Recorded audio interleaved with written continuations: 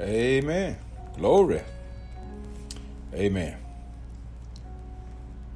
It is wonderful. Excellent. Look like everything is working good tonight. Amen. And I'm coming on a little earlier than I normally come on tonight because I hadn't come on in a in a, in a while now. I tried coming on last night, but for some reason, uh, they decided they want to work on the internet last night, so they knocked everybody off the off the air last night. I wasn't the only one. There was the whole community knocked off the air on last night for the uh, internet because they were doing maintenance on the wires. So that's why we couldn't continue our broadcast last night. But uh, but that's okay. We're back here tonight, and we're gonna gonna continue. Amen. I'm going back with the same message. How you doing, Miss Gay? How you doing? God bless you.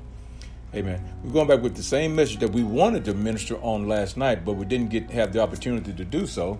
So we're going back with that same message tonight. Amen.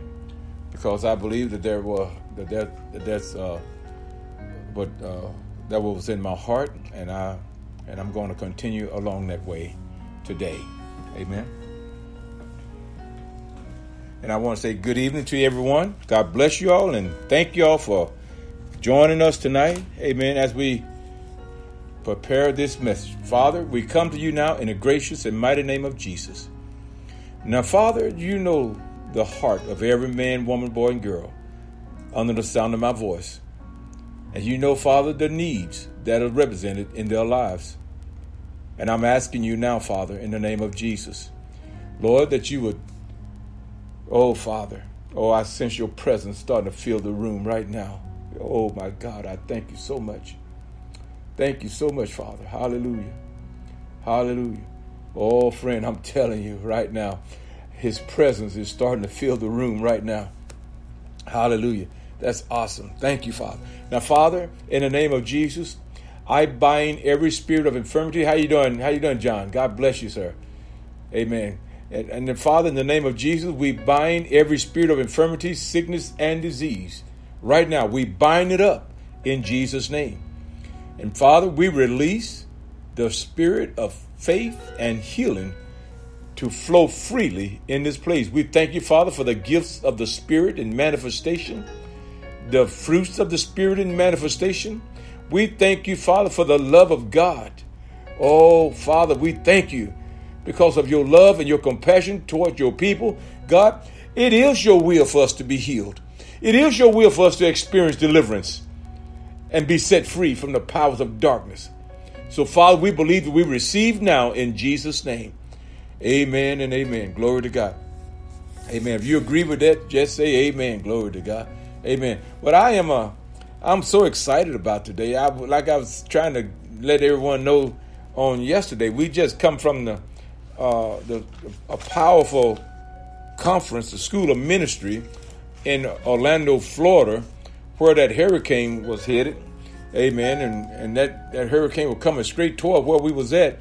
And we and we and we as ministers, we all just we all fo- begin to focus on that on that hurricane, begin to pray against it. Amen.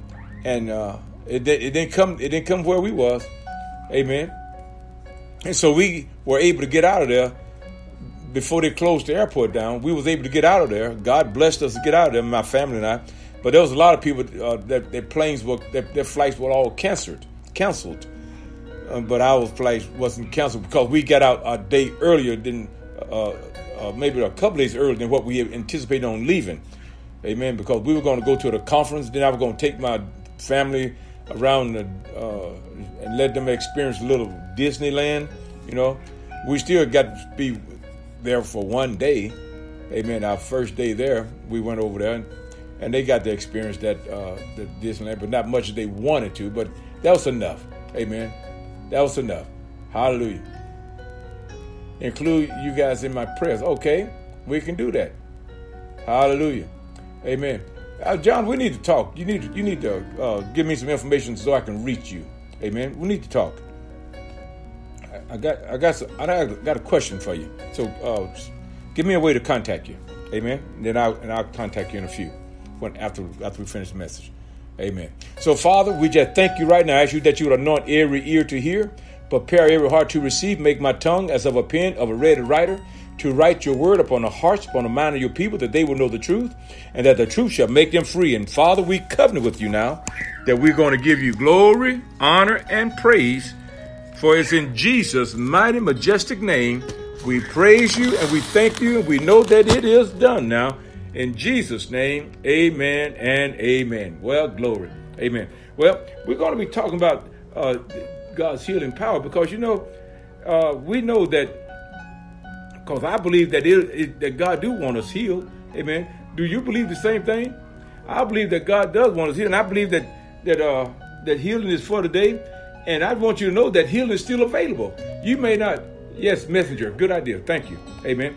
But a lot of people don't understand that the way of God is the way of faith, it's the way of the supernatural, it's the way of the spirit. Amen. So if we're going to flow in the Spirit of God. We need to flow in the way that God intends for us to flow, and that's by faith. Amen. Everything that God has prepared for us to receive, folks, we're going to have to learn how to exercise faith, and we have to learn how to walk in that faith, learn how to uh, demonstrate faith. Amen. By allowing the Word of God to become a living reality in our heart. We need to take the Word of God, and we need to just, we need to take the Word of God, we need to just take a hold of it and not let go of it. Amen. Take a hold of it and not let go of it. Hallelujah. Amen. So I want to encourage you tonight as we go through the lesson tonight. I want to encourage you just like just like the blind Bartimaeus. He he he knew what he wanted, but when he came before Jesus, Jesus acted like he didn't know what the man wanted. Jesus said, "Well, what what can what is it that you want me to do?" Amen and uh, anybody could look at him, tell that he was blind. He wanted he wanted his eyes healed. Amen. But let's just look at the scripture. Let's go back to the book of Mark, chapter 16. Mark chapter 16.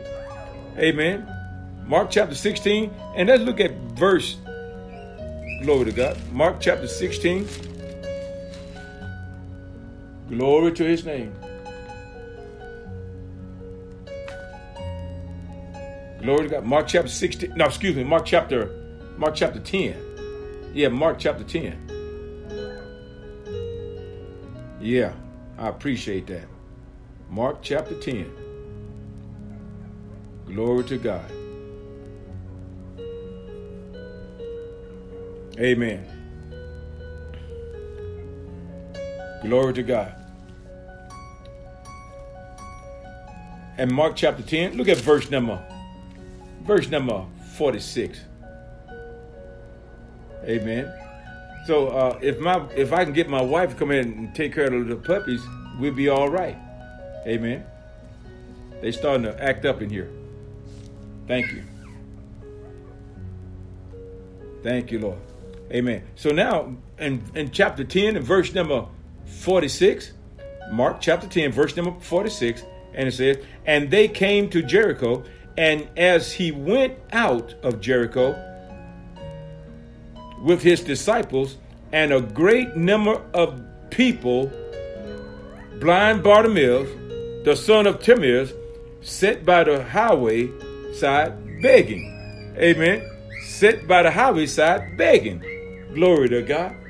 Now, now, now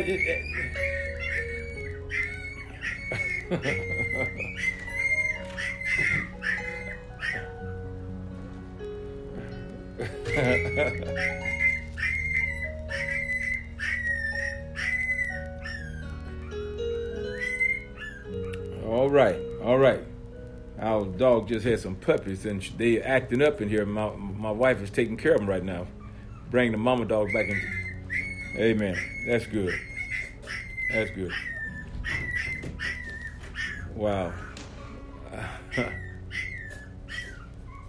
yeah. Anyway. Anyway, praise the Lord.